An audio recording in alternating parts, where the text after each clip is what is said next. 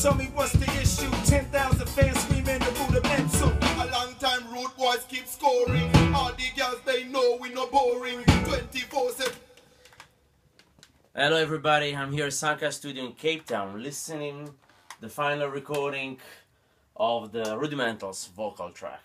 Uh, we've been tracking Rudimentals in the last two weeks. It's four singers, so it's difficult to get everybody in the same time.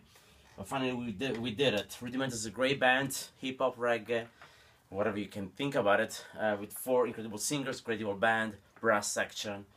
And for to me it's great, a great honor to record them for one single. Actually, I want to take advantage to actually say thank you to the Sanka Studio to be here also because I, I was able to do my seminar with Antelope, with my Antelope Zen tour. I actually want to say thank you to the Antelope guys back in Bulgaria because they backed me up a lot this time. I did this private event at uh, Soundcast and actually I used it at the ASC, which is an important chain recording school here in Cape Town. I did two seminars with them and also, and also I used that at SAE, sorry, SAE where I I taught 35 hours this time. So it's been pretty hectic, a lot of work, a lot of work with Antelope, and a lot of studio time, and a lot of teaching. So in two days I'm leaving. Tomorrow is my last day of teaching SAE.